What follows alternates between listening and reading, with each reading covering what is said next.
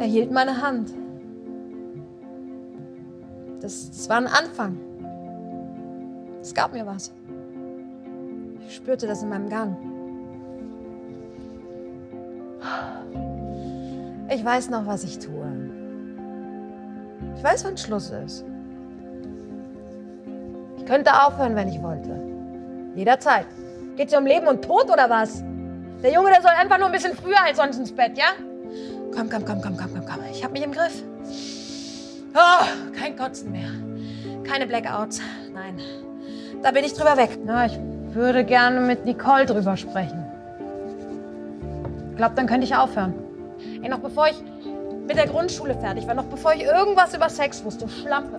Ich rieche noch, überall im ganzen Haus rieche ich noch kahl. Besonders in den Kissen. Brotmesser, Kochtopf, Bürste. Riss mir die Haare büschelweise aus, egal wie mies ich drauf bin. Schmerzen habe, zittere. Jack kriegt seine Gute-Nacht-Geschichte.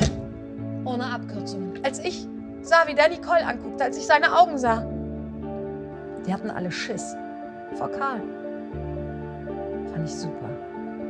Wer hat eine Frau umgebracht? Karl Spencer. Das kommt bestimmt im Fernsehen. In den Nachrichten. Okay.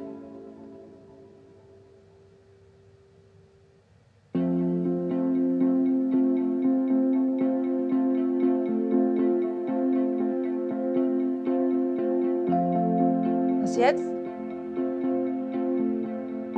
Frag mich was Leichteres.